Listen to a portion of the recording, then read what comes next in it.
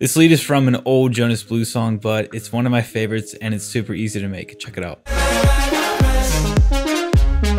Let's keep the saw waves and oscillators one and two. The first one's going to be that middle layer, and then the second one's going to be the wider layer, so we can put a couple voices of unison on with a little bit of detune. And then take the volume back just a little bit. Let's give envelope one a little bit of attack, take the sustain down a bit, and then give it a little bit of release. Throw on some white noise, route that to filter number two, and we're just trying to get a little bit of the high. And then make sure oscillator two is not going to that filter, and then knock that volume back a bit put the filter on, put the resonance to about 20%, put the key tracking up just a little bit. Then let's shape envelope two, give it a little bit of attack. We're gonna do no sustain and then put the decay to a pretty short time like this, do a little bit of release, and then just drag that onto the cutoff. And we can add some distortion and then some chorus. So this is super important for the sound. Put the mix to about 40%, put envelope 2 on the mix of that, make it move a little bit. This is to give us that metallic effect.